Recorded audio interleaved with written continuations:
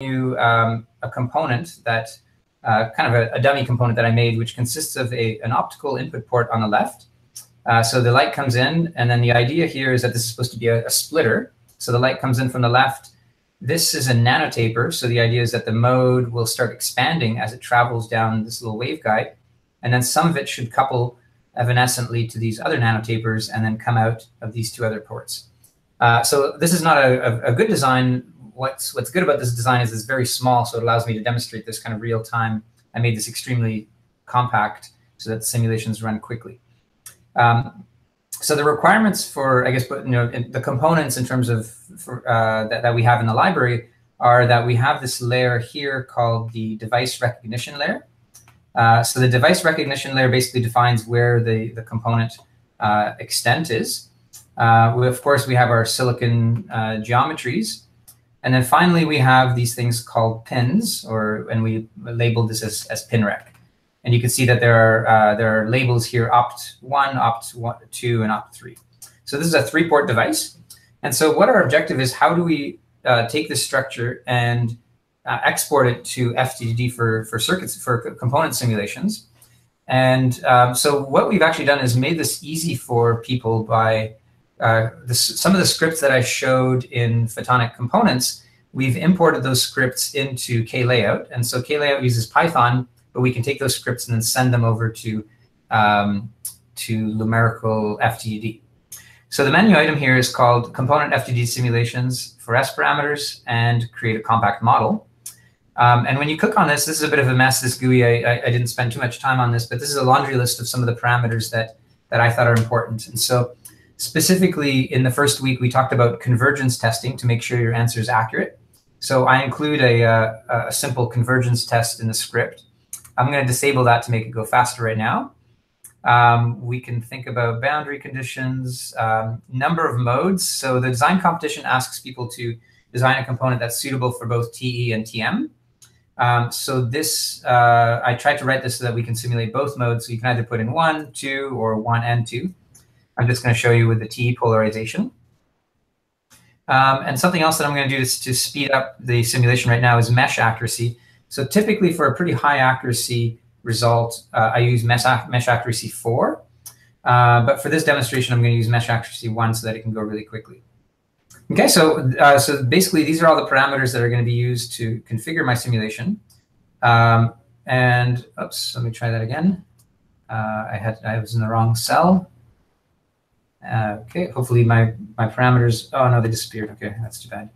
Let me put these back in again. Okay, so what this is doing is it's launching. You can see FDTD is bouncing up and down here. So it's it's launching FDTD, and then it's going through uh, a script that essentially takes all the polygons that are defined in KLayout, draws them in FDTD, and every port that we've defined, it also injects, it creates one of these ports um, at the uh, on, on, all three um, on all three pins defined in the layout tool. So we're using the the object called port um, which is which essentially consists of a source as well as a detector or a monitor. A, a fast FDTD simulation where it's swept um, as a function of uh, of wavelength, and it gives us the transmission from this is S31. So I think this is injection injection in port one, measurement on port three, and then S21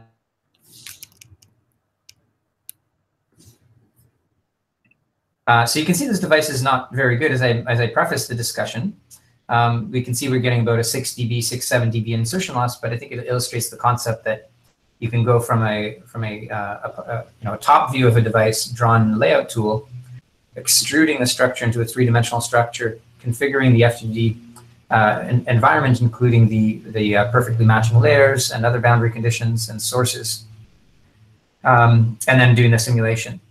Now, the next so the idea is that you you look at these these uh, this simulation, you say, okay, well, you know, this looks like a, a, a splitter, and I'm happy with it. The next step is uh, creating S parameters for this, which requires doing, in this case, for the device, doing three separate simulations. And so this is what's being simulated right now. You can see it's doing three jobs. These three jobs essentially consist of injection on port one, Then it does injection on port two, and then it does injection on port three. Let's see if I can. Can I mute one of the microphones I, am hearing? Let's see which one could it be. Let me just mute.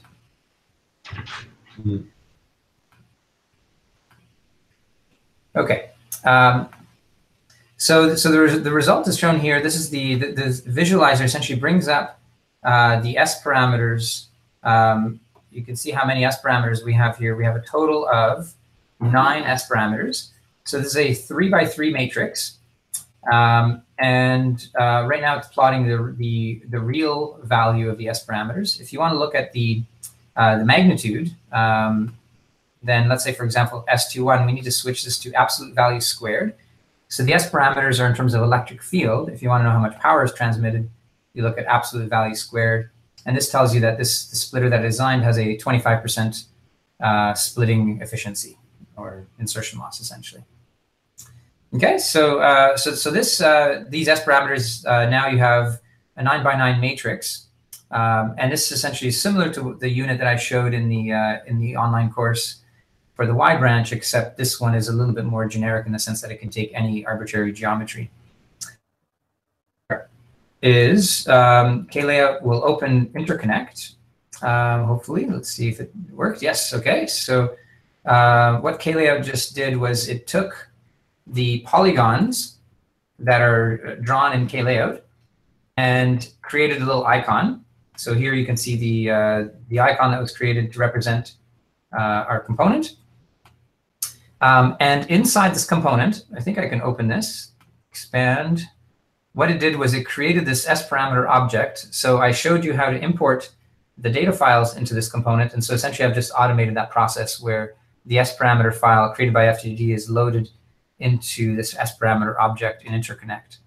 Um, and now we have a component uh, that was added into our custom library. So under on the far right in the element library, custom SiEPIC user, you can see I've created the, and what I can do is I can now drag and drop and, and start creating my own interferometers with my own splitter if I want. Um, and I can do I can characterize this. So if you look in the eBeam library where the version number is, I put an optical network analyzer in here to make it more convenient.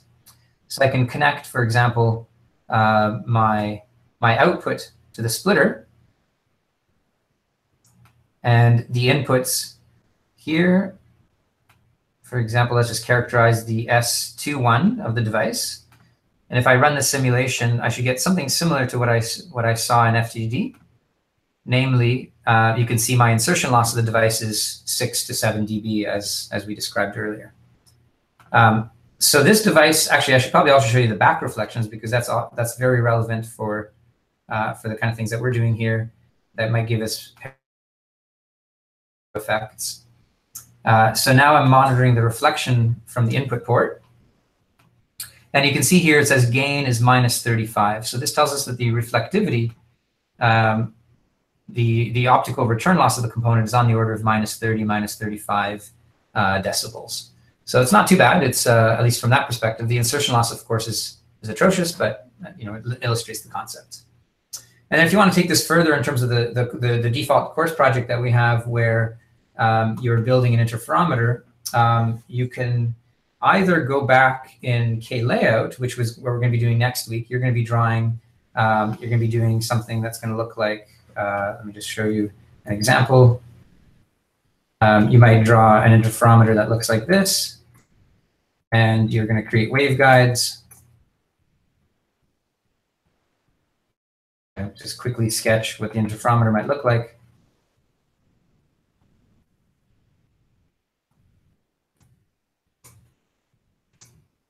Ignoring some of these errors. So your interferometer essentially will look like two waveguides connecting the splitter. So um, what I'll show you next week is that you can actually simulate this structure. Uh, there's another menu item in here called simulation, circuit simulation of Lumerical Interconnect. Um, now, we haven't covered this yet, so I don't want to confuse things too much, but since we've talked about how to do circuit simulations and interconnect, let me show you how you would do this here. You could drag and drop all the, all the components in here and build your interferometer uh, like so. So for example, you might have 100 microns. You might have the other one as, uh, let's see, where my properties? I might make this to be 200 microns. And um, now I can wire my interferometer.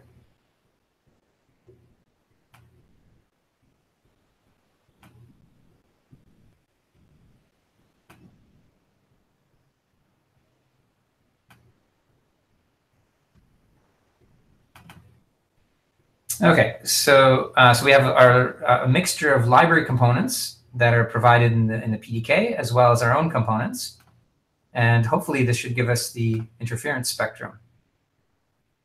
Okay, fantastic, it's working! Yay! this, this, is always great when things work, uh, especially live. So now we have we've built an interferometer using our custom component as well as the the waveguides in the library, um, and then this is how um, we are going to be assessing the quality of the performance of the, of the components that people design. Specifically, we're going to build an interferometer. We can check to see what the extinction ratio is, so we can see how well, uh, how even the splitting ratio is. So you can see this component has a very good splitting ratio, so it has a very high extinction ratio. Um, and then, of course, we can look at the insertion loss and see uh, how much insertion loss we have here. Um, I'm hoping most people who will be entering the competition will do much better than the 6 dB that I'm showing here, um, in which case uh, this insertion loss is much more difficult to measure.